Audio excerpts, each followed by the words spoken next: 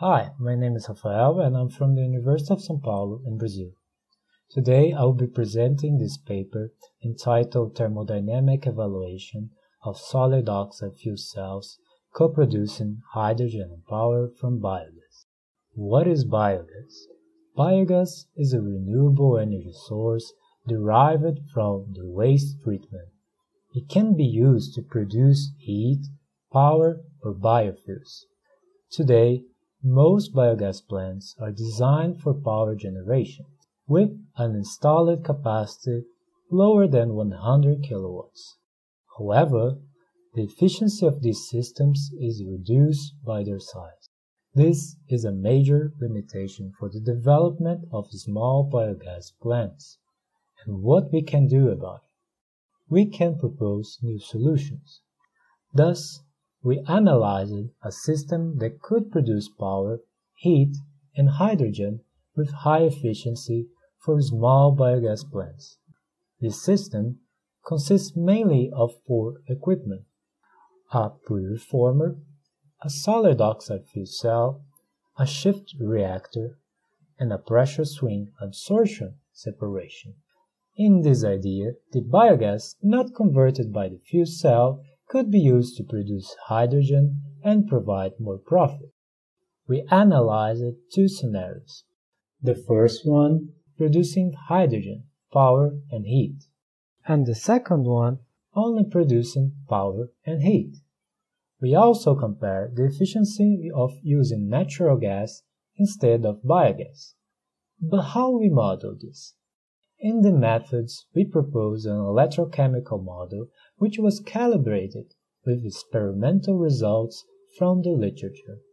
In this figure, each color represents a mixture of hydrogen and carbon dioxide.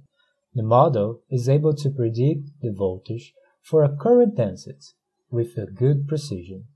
We also model the changes of temperature and composition along the cell stack. This is a different approach since most studies use 0D or 1D models for the fuel cell. This can overestimate the efficiency, especially in the case of biogas.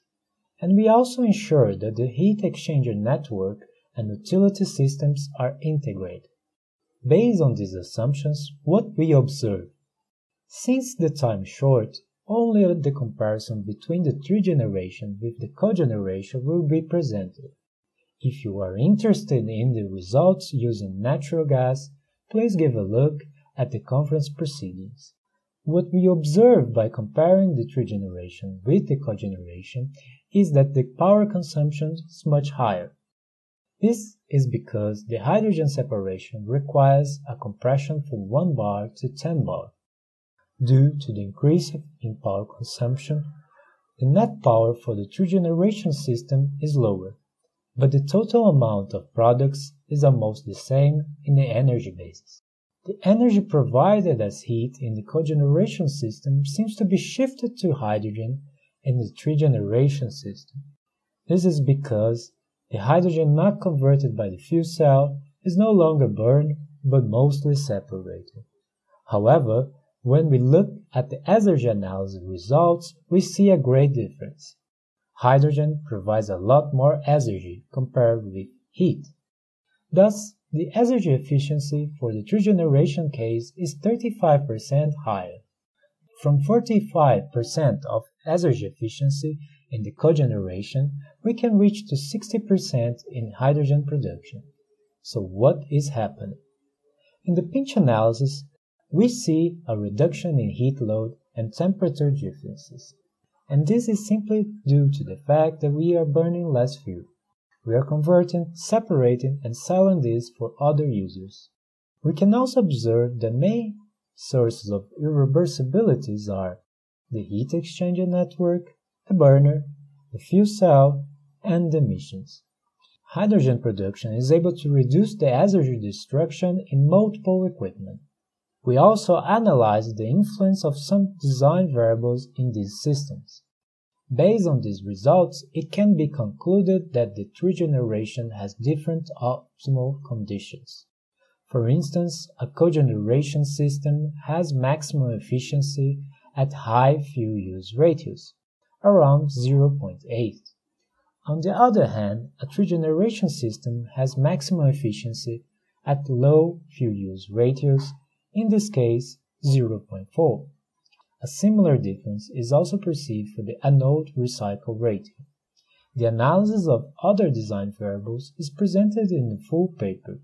Please check it out if you are interested. Thus, to conclude this presentation, let's recap the main features of this paper. In short, we propose a quasi-2D model of a solid oxide fuel cell with internal reforming working with biogas. We also evaluated the efficiency of trigeneration system producing hydrogen, power, and heat for small biogas plants. As the main results, we see that although the energy efficiency for the cogeneration is similar to the trigeneration, the exergy analysis shows a 34% increase in efficiency. There are major sources of irreversibilities in the heat exchanger network, the burner, in the fuel cell, and in the emissions. Most of these inefficiencies can be reduced with hydrogen production. Lastly, the optimal design variables for trigeneration are different. Thus, these systems require new optimization studies. And with this, I conclude my presentation. I would like to thank you for your attention, and if you have any questions, please send it to me via email. Thank you very much.